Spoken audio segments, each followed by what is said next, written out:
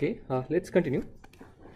So, uh, in the last class, we essentially looked at the poles and zeros in the common source. And uh, I'll again want to recap the result again. So, let me quickly draw that. So, we had an RS and a capacitance C1, the transconductance, and at the output side, we had an output resistance. Let's say conductance is G0, capacitance C0. So here in this case, what was the pole locations? In this circuit, what were the pole locations when I don't consider coupling between the two? Yeah, it is isolated RC section, so it's trivial to write like this. Now, uh, a more non-trivial case is where you consider the coupling capacitance between the two RC sections. Let me call that C. So here we notice that it is not trivial to write. So we actually had to compute the polynomial, I mean the uh, transfer function and find the roots. But then we made sense of why those roots make sense. And we uh, saw that at the input side, this capacitance C can be translated to an equivalent capacitance with a value of C into the 1 plus gain of this fellow. And at low frequencies, we saw that the gain is approximately Gm times R0. So which means at low frequencies, which uh, which will give you the low frequency pole. What is the total capacitance at this node? What is it? C1 plus this capacitance multiplied by the gain. So C into 1 plus GM1 R0 and the conductance at this node is what? Only yeah conductance is GS, resistance is RS. So that gives the approximate expression for the low frequency pole. Now similarly we looked at why the high frequency pole makes sense. And for that we basically looked at the total capacitance at this node and the total conductance at that node. And uh, again the uh, deal we did was for high frequencies we ignored RS in comparison to C1 because we know C1 will offer a much lower impedance than R1 RS so if you ignore this, then it becomes simple. The total capacitance at this node is C0 in parallel with C and C1 in series. So the total capacitance is C0 plus C C1 by C plus C1. And if you write the total conductance, you have this conductance G0, the output resistance, that will definitely come and in parallel to that we saw this transconductance put in feedback also contributes to an equivalent resistance. And that we can quickly see if I apply a test voltage here what will be the fraction of the voltage appearing there? Yeah it is a capacitive division C by C plus C1 so GM times this voltage will be the current drawn. That will give rise to an uh, equivalent resistance or conductance. So the conductance is GM 1 times C by C plus C. That's why uh, these two pole locations made sense. And we also saw that to start with when I didn't have this capacitance C and if we assume uh, GS, G0, C1, C0 or all of or all of similar order just an assumption then these two poles might be close enough to each other but the moment I added an additional capacitance it looks like one pole has shifted to a low frequency. This is the low frequency pole. And the other pole seems to have drifted to a higher frequency.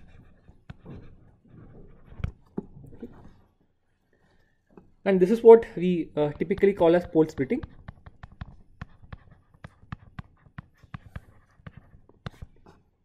And we'll come to this again later in the course. So any uh, clarifications on this? Why these pole locations make sense and stuff? Okay. okay, cool. Then let's move on. So we have done common drain, common source we did, common gate will be an exercise. So that wraps up the single transistor stages.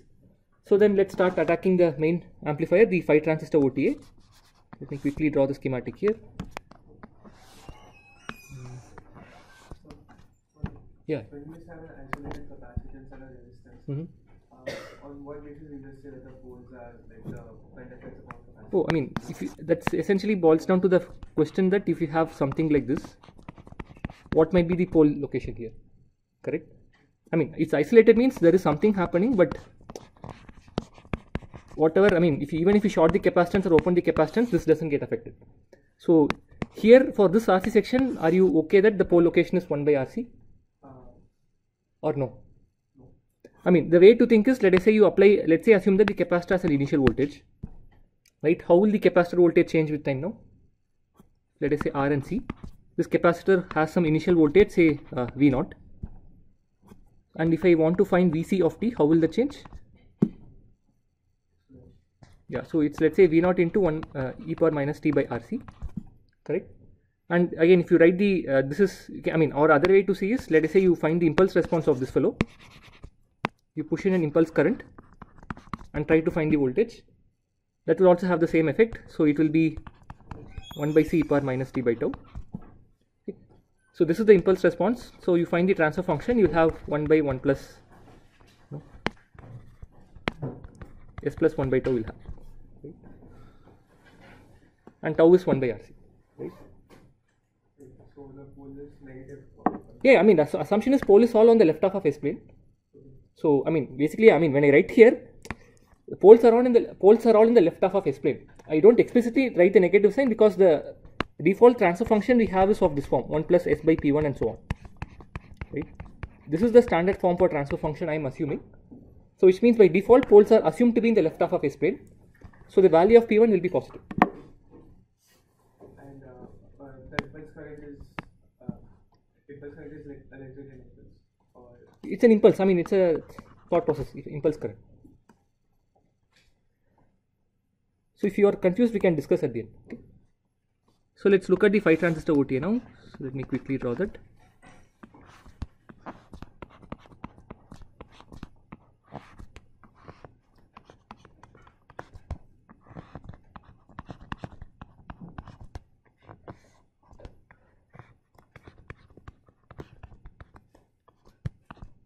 Again, this is the self biasing.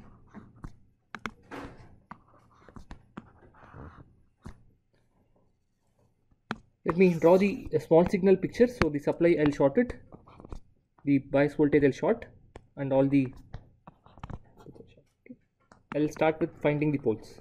So which means I don't care what the input is and what the output is. I'll start to lump all the capacitors at each node. At the output, let us say I have a load capacitor that the OTA is driving. And along with this load capacitor you can also club the capacitance from drain to gate of this transistor right? Drain to bulk of the transistor. Similarly drain to bulk of the PMOS transistor and so on. That you can you know think and see what all capacitors will be lumped here. Similarly at this node you will have an effective capacitance. So let me call that Cx again this will include the uh, source to gate capacitance of the NMOS transistors because gates are all incrementally short. And even the drain to gate capacitance of this NMOS transistor and every other combination. That you can think and see again what capacitors will come. And once again from this node you will have another capacitor to ground.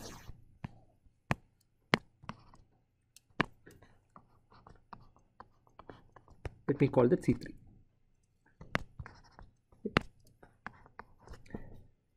So in addition, you will also have a capacitance from the gate to drain of this transistor. But I will ignore that uh, CGD for now because the moment you include this fellow, uh, it introduces coupling between these two parts. It becomes non-trivial. So I will not consider this for now. So that's the first assumption I will make. That CGD is ignored here.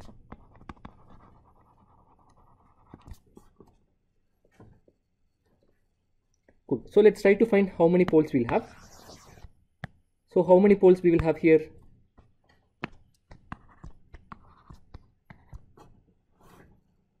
How many poles? Three poles. You can remember you can initialize the voltage across all three capacitors independently without any contradiction. So we definitely have three poles.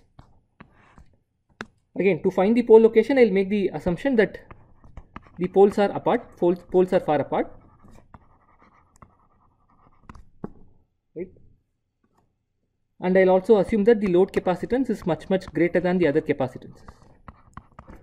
This is something reasonable to make because this OTA might be driving another stage or another load capacitance that typically might be much larger than the parasitic capacitances you have.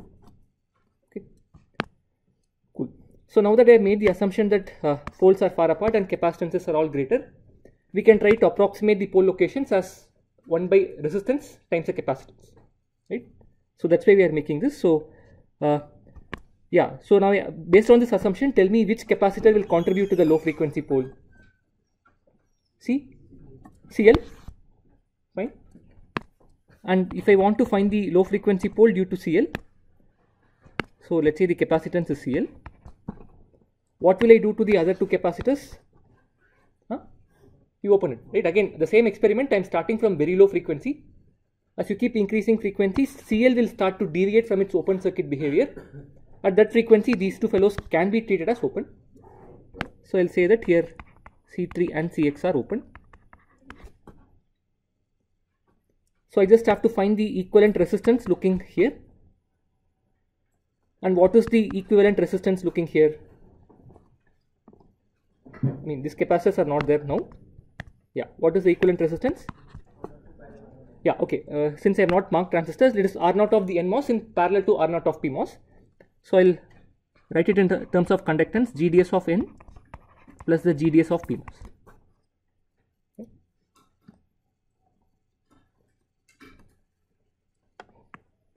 So that's the low frequency pole.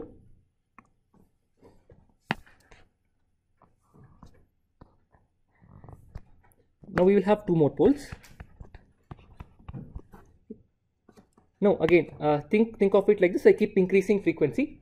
Now after some point, these two fellows might start to deviate from their open circuit behavior, but I do not know the relative values of C3CX. So which means I can't treat the capacitors in isolation.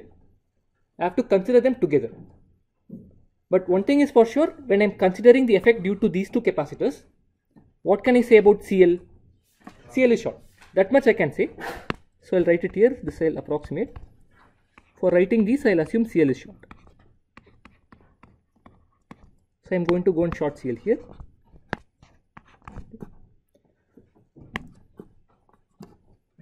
And now I have to consider both the capacitors together. I can't, you know, uh, isolate them or I can't treat them uh, separately.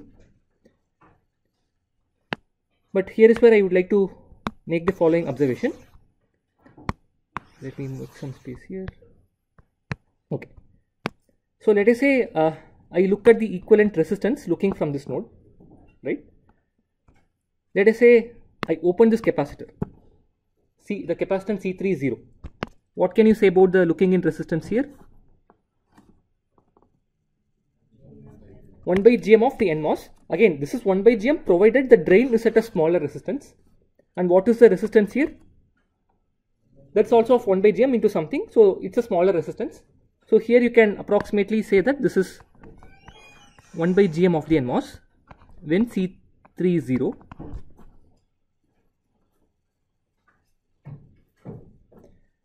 Now let's also take a case where I short C3 that is I make C3 to be infinite.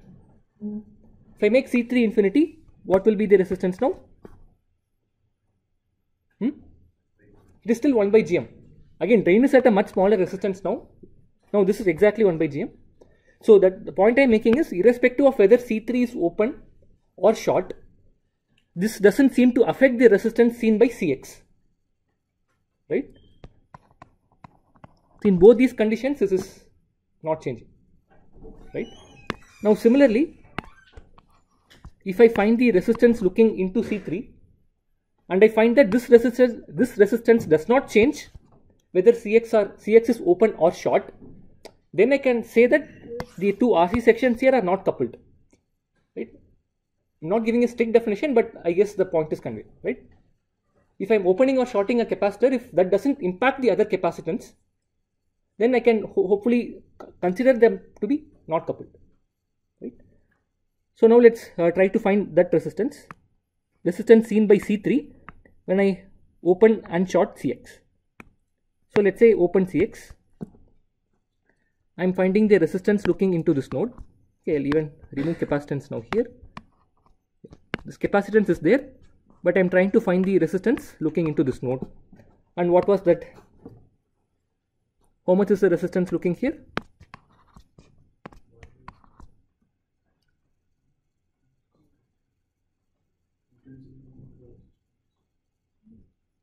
What is the resistance looking we computed for the 5 transistor OTA earlier. So hmm? uh-huh. I mean okay if you you apply test voltage here this will draw current of GMP times V test. We'll ignore the current drawn by R naught in comparison to the GM current. But uh, if you recollect this also meant the same test voltage is applied to this PMOS transistor. So some current will be drawn by this fellow that is also GMP times V test now in a normal, in the earlier case, a portion of this current would have come here and contributed to, contributed to the test current here. But if I short the output, what will happen to this current? Till exactly, it will completely flow to the short circuit and no part of this current reaches here. This clear? So what is the equivalent resistance now? 1 by gm of the PMOS transistor.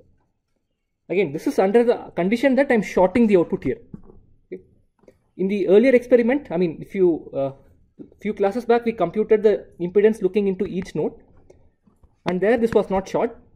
Then a portion of this current will definitely flow here, contributing to the output resistance or the equivalent resistance. Whereas here it is 1 by G. Okay, so this is 1 by GM. Uh, where do I write? Okay, let's say this is 1 by GM. This is when C3 is open now let us say short C3, sorry, short Cx. If I short this fellow, this is ground. What is the resistance looking? Still 1 by gm. I mean, this is incrementally ground, right? So now looking up, we have 1 by gm. Looking down, we have R naught. Approximately, it is still 1 by gm of the PMOS transistor. So the resistance seen by C3 seems like it's not changing whether I open or short Cx. This is true even for Cx 0 or infinity. Okay.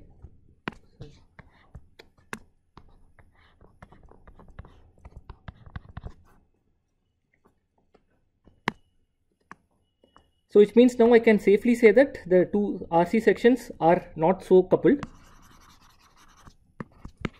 So I can again treat them as isolated RC sections. So write the pole locations as the capacitance there times the equivalent resistance there and so on. So now let's do that. So let us say uh, let's find the pole due to C3.